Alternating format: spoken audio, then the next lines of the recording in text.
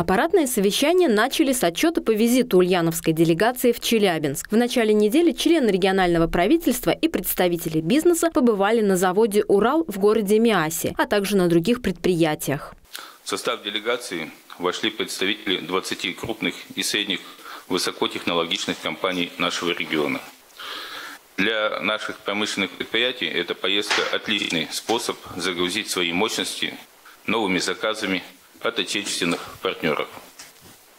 Мы продемонстрировали возможность нашего региона, изучили потенциал челябинских производителей – и обсудили варианты сотрудничества. В Ульяновской области региональный Минздрав совместно с Центром здоровья реализует проект «Выездная поликлиника». Благодаря ему медицинская помощь становится доступной для всех, кто живет в селах и отдаленных деревнях. За год врачи осмотрели более 6,5 тысяч человек. 30% из них направили на госпитализацию.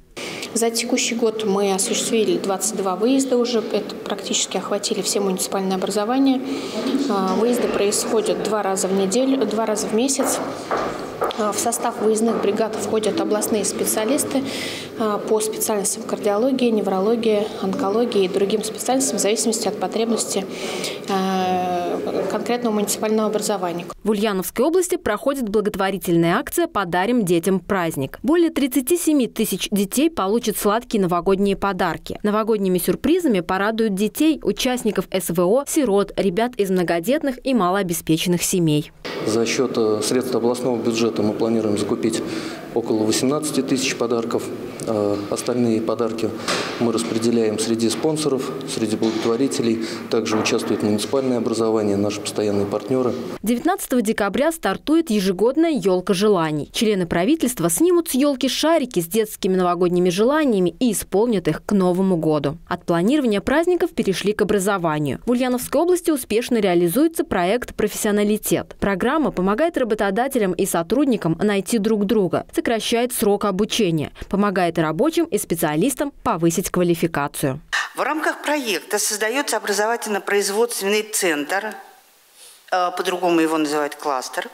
Это форма тесного взаимодействия колледжей с предприятиями реального сектора экономики нашего региона. В Ульяновской области продолжается реализация национального проекта «Культура». В 2024 году продолжится оснащение учреждений культуры современным оборудованием. Будут отремонтированы и оборудованы три музея, три детские школы искусств и одно среднее профессиональное училище, Ульяновский колледж культуры и искусства и другие организации.